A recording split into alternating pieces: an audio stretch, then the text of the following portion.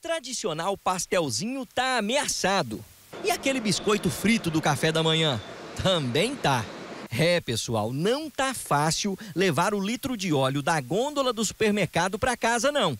Ele virou um dos vilões da cesta básica. Mas não tá sozinho. Vários itens básicos tiveram aumento de preço em 2020. Alguns fatores podem tentar explicar tal aumento.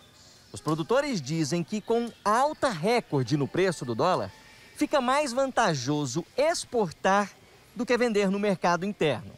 Já os supermercados apontam que com a pandemia, o consumo das famílias em casa aumentou bastante. E já que o que regula o mercado é oferta e demanda, o óleo não para de subir a cada mês.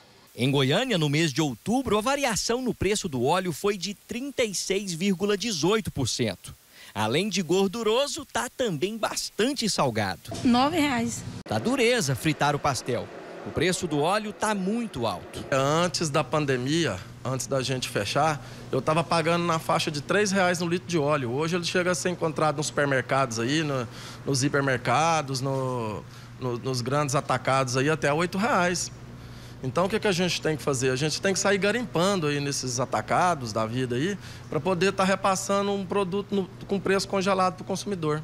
Ele gasta quase 200 litros de óleo por semana. O tacho é cheio o tempo todo. Para não subir o preço do pastel nem reduzir a qualidade do produto final, ele tirou na margem de lucro. A gente está aí tentando segurar. Acho que o bom empreendedor, ele tenta não repassar isso para o consumidor final, né? Vamos tentando dar uma segurada. Tá difícil, o dinheiro da gente é pouco, né? Então, a gente que trabalha no, no dia a dia, é, fica muito difícil para gente, a gente manter a casa, a compra, né? Então, você tem que remediar. A gente está aqui na tradicional feira do setor Fama, que acontece às segundas-feiras. Por aqui o pessoal está comprando frutas, legumes. Aqui, ó, tem o franguinho, amarelinho, rapaz, só o ouro. E a gente vem atrás do pasteleiro, da banca de pastel. Só que o pasteleiro não veio. A gente está até na dúvida, inclusive, talvez porque o óleo está muito caro. Por isso que não está compensando, talvez, fritar o tradicional pastelzinho, o povo, que o povo gosta tanto. E lá em casa, por exemplo, como alternativa ao óleo de cozinha, ao óleo de soja, girassol, canola, né, essa coiseirada toda, eu uso esse aqui, ó.